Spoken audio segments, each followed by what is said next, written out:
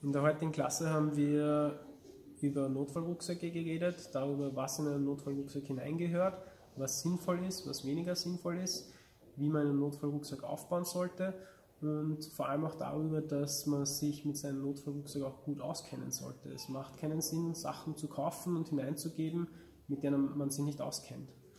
Ähm, es ist vor allem auch sinnvoll, dass man sich wirklich viel Informationen holt, was für Ausrüstungen sinnvoll sind, wie man möglichst viel Gewicht sparen kann, mit was für Rucksäcken man einen schnellen Zugriff hat auf die Sachen und auch eine gute Organisation im Rucksack hat, also dass man wirklich ordentlich sortieren kann im Rucksack, wo was ist und dass man dementsprechend dann schnell darauf zugreifen kann.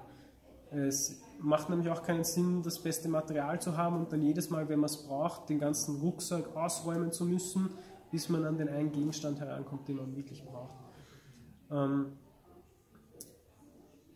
es ist natürlich sinnvoll, den Notfallrucksack immer daheim stehen zu haben, aber es ist noch sinnvoller, einen eventuell etwas kleineren Notfallrucksack immer mit sich zu führen.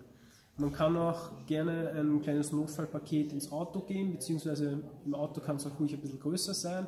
Da kann man noch zusätzlich Decken reingeben oder vielleicht wirklich einen bisschen größeren Kocher, so einen Gaskocher oder ähnliches, ähm, sodass man halt wurscht, ob man gerade daheim ist, wenn ein Notfall eintrifft oder unterwegs ist, immer irgendwas mit hat, das einen das Leben und Überleben erleichtern kann.